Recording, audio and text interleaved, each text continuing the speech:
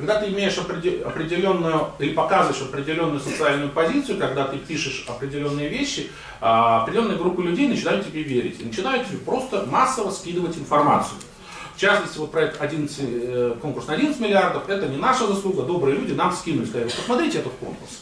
Вот. И вот здесь произошла совершенно такая же ситуация. То есть я к тому времени уже был достаточно известным блогером, я проснулся, я включил компьютер, я открыл почту и увидел письмо. В письме два слова, одно слово «помоги» и одна ссылка. И эта ссылка вела именно вот на это сообщение о том, что а, в Екатеринбурге неизвестные несколько дней безобразничали, подрезали машины, разбивали их, вымогали деньги, их никто не мог найти. Апофеозом их наглости стало то, что по дороге на Э, двигаясь в сторону Тюмени, они около города Богданович остановили э, машину и просто расстреляли ее из пневматического пистолета, разбили стекла. Вот. И я не поленился, я залез э, на блог, не блог, форум, Екатеринбургский форум Е1. И начал там просто, а там горячо это все обсуждалось, и начал просто рыть информацию. Почитав минут 30, я нашел вот эту фотографию. А, да, Менты говорят, что это были неизвестные, и номера машины невозможно установить. Я нашел вот эту фотографию, которую э, там разместили ребята. То есть, понимаете, вот, вот в чем может быть парадокс ситуации. Вот наша власть нам все время говорит, вы ничего не можете, вы никто, и звать вас никак, да? И вообще вы ничего не решаете.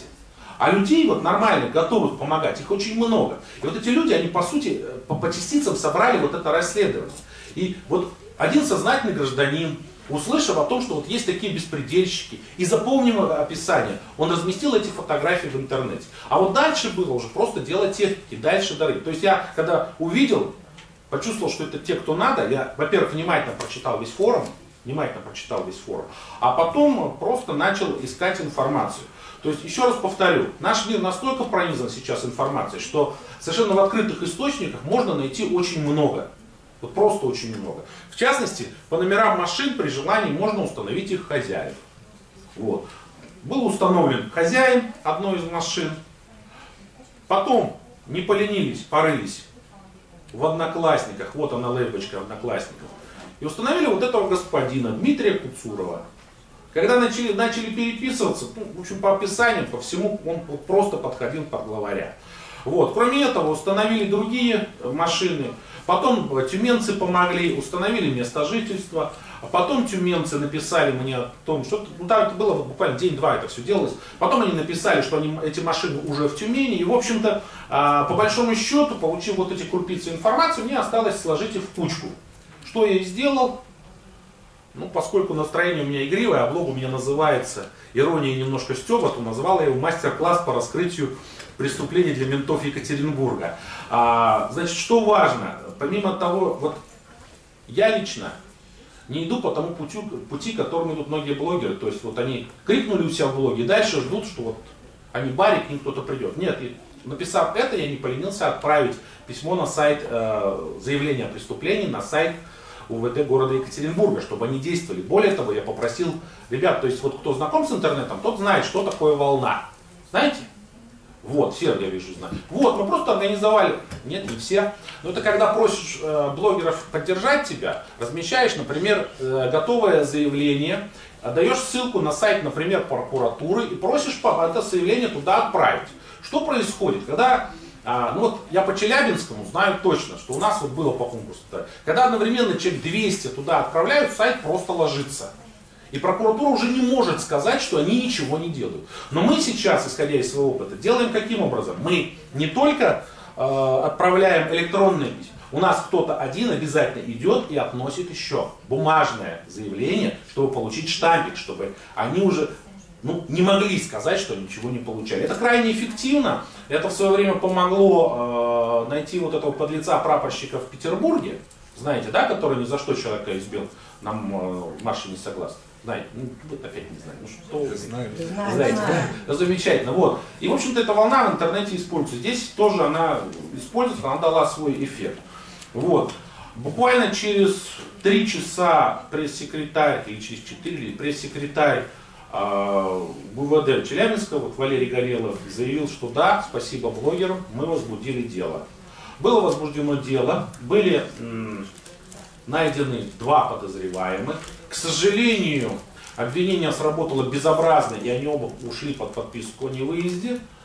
А вот две недели назад случилось очень рад, три недели уже назад радостное событие. Виктора Куцурова задержали. Вот. Дмитрия, извиняюсь, Куцурова задержали. Несмотря на то, что его родители да, не последние люди в Ханты-Мансийском округе, несмотря на то, что они, ну, догадайтесь, члены какой партии исполкомов, вот в жизнь не поверите Единой России, да, которые там воротили все, что хотели, они не смогли его уберечь, хотя они активно противодействовали задержанию собственного сына. Сколько ему лет? 26 на тот момент. Это вот тоже, извините за резкость, тоже подлец редкостный. Э, значит, э, два или три года назад в совершенно пьяном состоянии э, гонял по Тюмени, въехал в машину женщине, то есть она в тот момент только начинала водить, и она от бордюра шла влево, совершала маневр в ряд. Он врезал, ушел по касательной на остановку, убил двух человек, опа. То есть это все время я говорил без микрофона, замечательно. Убил двух человек, и э, ему ничего не было. Ему папа новую машину купил, а женщину осудили на 5 лет. Ну так, это факт. Да, то есть э, вот так вот, вот кратенько если, то вот так. То есть на самом деле, на самом деле, я что хотел сказать, что если у вас есть желание, если вы умеете работать с информацией, нет ничего сложного, это вот второй еще у них орел. Вот видите, но это уже не я, это мне дали тюменцы, видите, вплоть до того, что адрес там, машина там, да, да. То есть это все легко вытаскивается, вся информация. Вот это второй подозреваемый. Вот, вот люди дали дом, где он живет, понимаете? То есть если вы умеете работать, если вы умеете с людьми общаться, ну информацию найти вообще не проблема, просто не проблема. Да, и самое главное, если у вас есть желание. Все, господа, вопросы? Можно спросить еще про отбор? Нужно. Да, я как человек очень любящий природу, значит, э, поддерживаю вас в этом деле важном, готова выйти. Мы не очень далеко друг от друга живем, готова поддержать вас даже физически в этом плане, в плане защиты Бора. А Ирина Артемова, город Пермь, директор издательства «Книжная площадь». Значит, вопрос вот какого плана. Я давно смотрела фильм, он называется «Амазонка в огне». Да, там тоже шла речь о защите э, деревьев. И герои этого фильма, отчаявшись, э, говорят такую фразу, что рано или поздно а, ты выходишь на классовый вопрос. Вот вы не боитесь этой ситуации, что рано или поздно мы выйдем на классовый вопрос? Вы имеете в виду политический вопрос? Политический? Да, да. А ну вы же понимаете, кто а, мы защищает уже, Бор и кто его хочет разрушить. Мы уже на это вышли.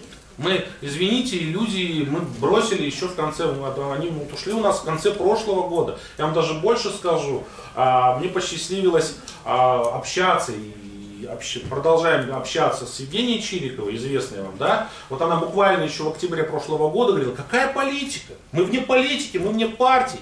А в декабре она уже сказала, достали.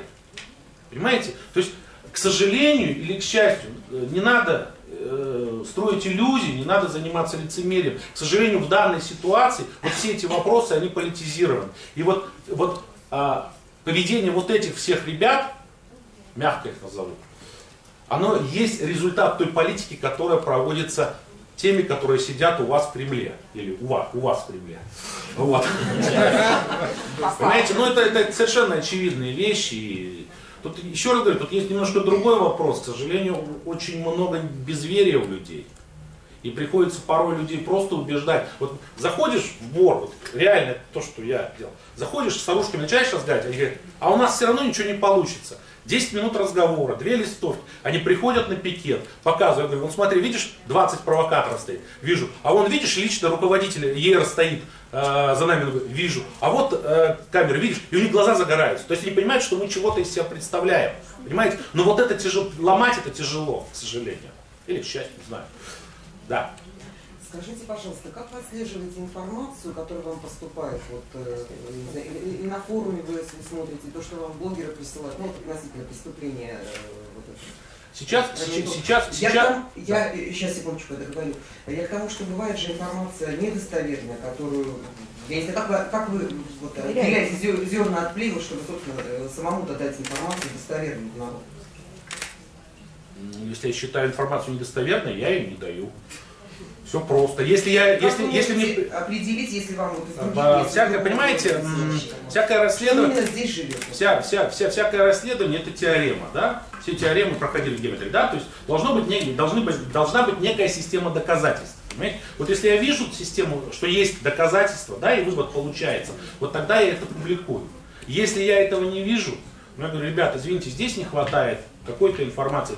Некоторые на меня обижаются, им очень хочется, чтобы я там про какую-нибудь семью написал, что вот ей нужна сейчас помощь. Я говорю, ребят, а из чего возьму сейчас халявщиков, мама не горюй сколько, да? Если есть документы, что ребенок больной, если есть, я размещу, мы размещаем, мы помогаем детям, мы реально помогаем. Э, С помощью, кстати, СМИ, спасибо, региональных тоже. Вот. А если я вижу недостоверность, я просто не пишу у себя. Потому что, потому что, потому что я помнил то, что товарищ говорил, да, при всей моей внешней наглости, может быть, я понимаю, что на меня могут подать в суд. Вот.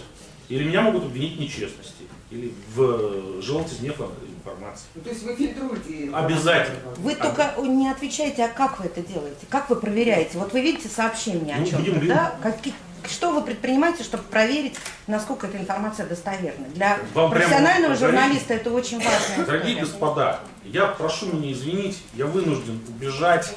Я, я, я, я, Не-не-не-не-не-не. Убежали.